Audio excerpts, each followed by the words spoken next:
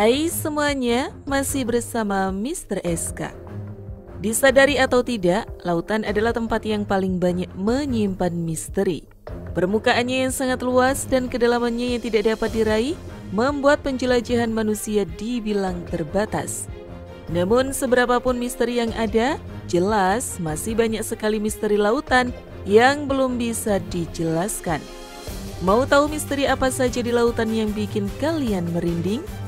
Jangan ke mana-mana, tonton terus video ini sampai habis.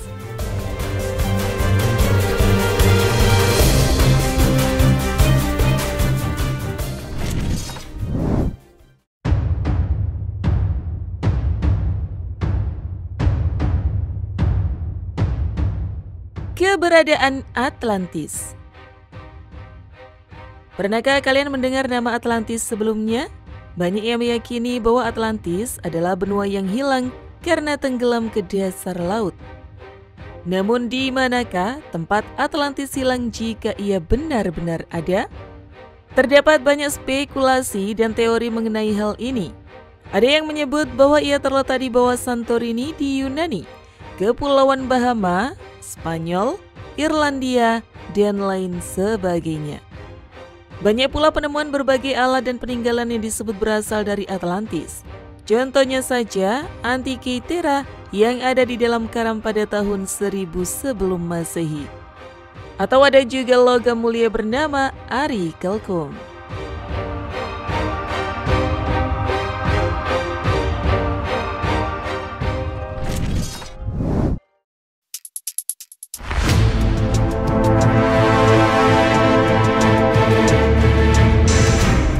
Monumen Yonaguni di Jepang.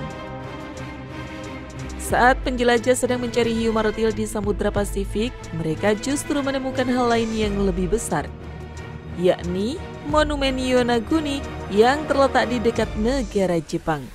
Monumen tersebut terlihat seperti bangunan kuno besar yang terbuat dari batu. Monumen ini memiliki panjang 50 meter dan lebar 20 meter.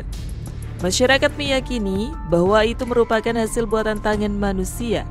Namun menurut perkiraan para ahli, monumen Yonaguni berasal lebih dari 900 tahun yang lalu.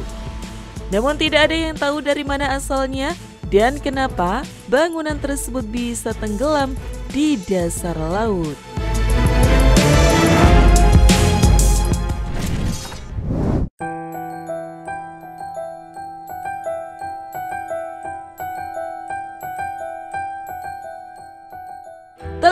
Alien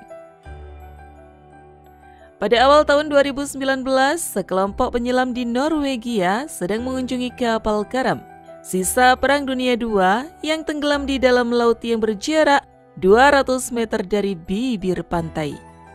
Dalam perjalanan kembali ke pantai, dua penyelam bernama Ronald Russ dan Neil Batnas dibuat terkejut ketika melihat sebuah benda misterius berbentuk bulat yang mengambang seperti telur raksasa.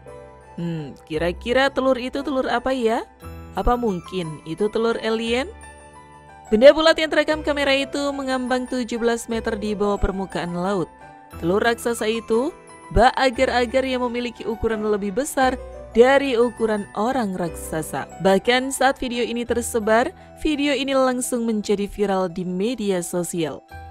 Saat para penyelam menyorotkan lampu pada telur raksasa tersebut, terlihat banyak butiran-butiran kecil. Dan ternyata dugaan terkait telur alien adalah salah. Dan saat didekati oleh kedua penyelam itu, ternyata ia mendapati sebuah kantung telur cumi-cumi yang berisi ribuan bayi, mulai dari 50 ribu hingga 200 ribu telur cumi-cumi.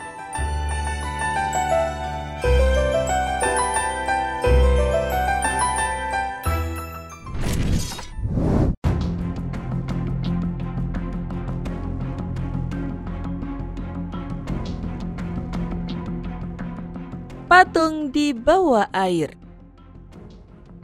Jika kalian melihat pemandangan ini, apakah yang kalian pikirkan? Sebuah misteri di lautan yang mungkin tidak pernah kalian ketahui. Atau patung-patung ini memiliki sejuta cerita yang tidak kalian ketahui. Ya, sejatinya berbagai patung di lautan ini adalah karya seniman Jason de Taylor. dipamerkan di Museum Bawah Laut seluas 420 meter persegi. Selama bertahun-tahun, seniman Jason de Kears Taylor membuat patung seukuran manusia dan menempatkannya di dasar laut. Museum bawah laut monumental ini diberi nama Musa dan terletak di sekitar perairan Cancun, Isla Mujeres, dan Punta Nizuc, Meksiko. Museum bawah laut monumental ini diberi nama Musa dan terletak di sekitar perairan Cancun, Isla Mujeres, dan Punta Nizuc, Meksiko. Proyek ini terdiri dari 450 patung permanen seukuran manusia. Patung-patung dicetak dengan memakai semen yang mendorong pertumbuhan terumbu. Selama bertahun-tahun, karya seni ini menarik koral, ganggang laut, dan ikan untuk hidup di sekitar terumbu. Berat seluruh patung di museum seluas 420 meter persegi ini mencapai 200 ton. Contoh model patung ini diambil dari berbagai latar belakang dan dirancang untuk menarik ikan-ikan dan koral dalam jumlah yang besar. Museum ini dibagi menjadi dua galeri yang disebut ruang pamer Mentions dengan kedalaman 8 meter dan nizuk.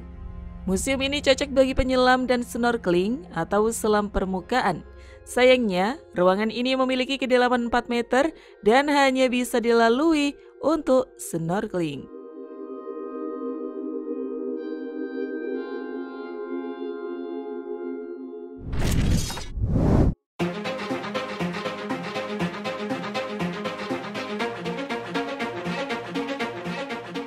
Tengkorak di dasar sungai Martin Sol adalah seorang wisatawan yang sedang menyelam memakai snorkel di Sungai Colorado, Amerika Serikat pada bulan Mei 2015 lalu. Martin yang terperanjat mengira kalau tengkorak tersebut adalah mayat manusia yang diikat pada kursi. Lalu dihanyutkan ke dasar sungai supaya mati tenggelam hingga akhirnya membusuk menjadi tengkorak.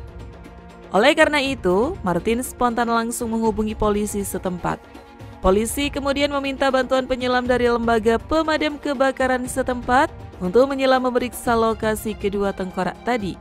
Saat diperiksa, barulah diketahui kalau kedua tengkorak tersebut bukan tengkorak asli, melainkan tengkorak dari plastik. Belakangan diketahui kalau kedua tengkorak tersebut bisa ada di sana karena sengaja dipasang oleh sepasang kekasih asal Phoenix negara bagian Arizona. Mereka mengaku melakukannya untuk tujuan iseng saja. Saat kabar mengenai penemuan tengkorak palsu tersebut tersebar ke publik, sekarang lokasi penemuan kedua tengkorak tadi malah menjadi objek wisata baru. Nah itu tadi guys beberapa misteri dalam air yang bikin kalian merinding. Bagaimana menurut kalian? Tulis pendapat kalian di kolom komentar. Terima kasih sudah menonton, jangan lupa share dan sampai jumpa di video berikutnya.